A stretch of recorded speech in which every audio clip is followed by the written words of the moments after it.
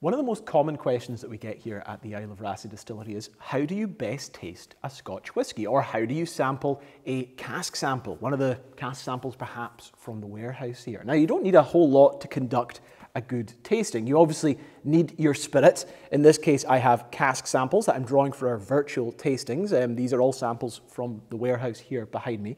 You also want to have some water, water that you can taste between the samples to kind of clean your palate but also water that we can use to reduce, to add into the sample after we've had our initial taste of it. Now, clean room temperature water is preferred. I'm actually quite lucky here in that I have water that I have drawn from our well, the same water that we use to distill our spirit, the same water that we use to reduce to cask strength, and it's the same water that we use to bottle because we do that entire process here on the island. So I am guaranteeing that I really have the purest expression for when it comes to Raasay whiskey.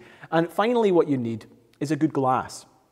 Now, you've probably seen one of these. They are Glencairn whisky glasses, and they are a form of tasting glass. And in my opinion, they are the best form of tasting glass if you want to get the best experience tasting one of our samples. Now, we have used these here at the distillery for years, and I use these to conduct all the tastings, whether it be the whisky here at the distillery when we're showing folks around, or I encourage folks to buy them as part of the virtual tastings. If you're ordering your pack from us, you can buy a Raasay Distillery branded Glencairn glass and have it sent down as part of your tasting. Looking at a Glencairn whisky glass, you can maybe understand why this glass is designed the way it is to encourage these different stages of the tasting. For one, and one of the reasons I like it, it's very solid. It's got a nice thick base to it. It's then got this nice wide round bowl to actually contain the liquid, and then it kind of rises up to this fluted top where uh, you can kind of funnel the, the nose and the smell of the whiskey as the vapors rise up through the glass. Now, if we were to add a sample in here, this is how I would approach a tasting. Any one of the six cask samples, in this situation, I'm dealing with peated cask samples from virgin oak casks. It's actually one of the first casks that we try in our virtual tasting events. And when you pour this in, the tasting's begun. You add it in, and instantly what you're looking at there is the colour. Now, I try to hold the, the glass at arm's length. I try to keep it away from me just so that when I'm trying something for the first time, I'm not getting all that smell, all of the influence of the nose straight away. I want to really approach that best when I actually get to the nosing, when I actually stick my nose into the glass and have a smell of it. So for the moment, I hold at a distance, as we're talking, as we're moving it around the glass, it's aerating the spirit, it's mixing it around slightly. You know, if these bottles had been sitting on your shelf for a couple of days before the tasting, that's why pouring it in and moving it around like this is quite good too. You can also get a few indications on the viscosity, the consistency of the spirit by looking at the legs and the way that it runs down the glass. That's why a nice clear glass like these Glencairns are great. You can look at the colour, you can look at the way the spirit is behaving in there as well.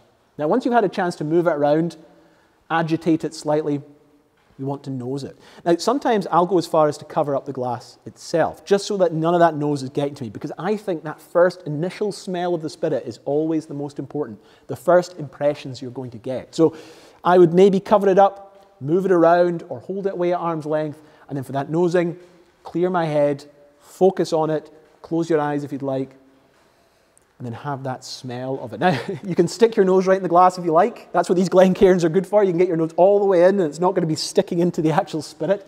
Or, like a, a chimney, you can just hold it underneath your nose and let those peaty notes, bit of blackcurrant, dark cherries, dark fruits, that light peat note just rises up towards your nose. You don't have to go looking for it. Sometimes it could just comes straight to you. You can already smell, though, that this is strong. Like I say, we know that this is a cask sample. You can actually sometimes get an indication of that just by seeing by the way it behaves in the glass and the nice clear Glencairn. And then once we've had a look at it, once we had a nose of it, this is where we want to have a taste. And this is where I think the Glencairn is also very much superior to just a normal tumbler. And it's because we're dealing with cask samples at a high strength alcohol. What we want to do is just have small sips. We're not trying to drink the entire load. We're trying to have a, a drop on your palate, on your tongue, move it around, see how those flavors build up and change as you're doing the tasting. So these things are quite good. Most of the liquid is sitting at the bowl there, and you can just draw a tiny bit along the neck and then into your mouth.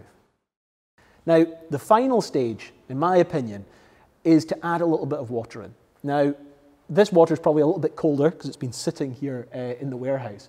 But what's quite good is to use some nice room temperature water that's not going to affect the flavour by uh, changing the temperature of it. We're just going to take a small splash of it, just going to add it in there.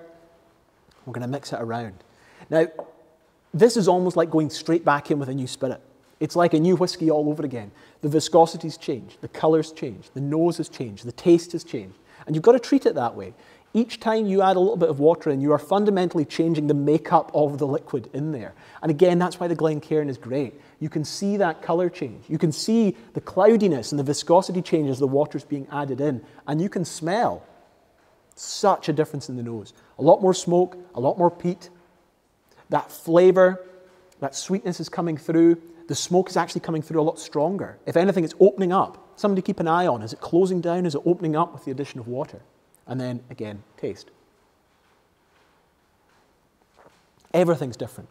Again, it's like a whole new whiskey. And that's where water is such a fantastic addition to a tasting because you can completely change your perception of the whiskey. You can change your opinion of how it tastes. You can get a better understanding, perhaps, of how it's going to develop in the future as well.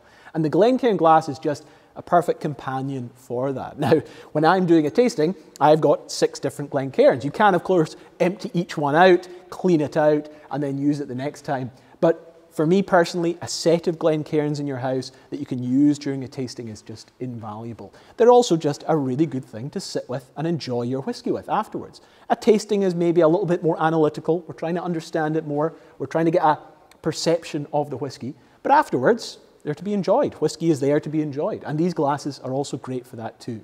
Something that you can admire your spirit in, something you can enjoy, and something you can taste as well. Anyway, I hope that gives a little bit of an insight as to why I personally love the Glencairns and why we use them at the distillery. If you are interested in joining one of our tastings, go to our website, raasaydistillery.com. Under the whisky tab, there is a section for our virtual tasting events.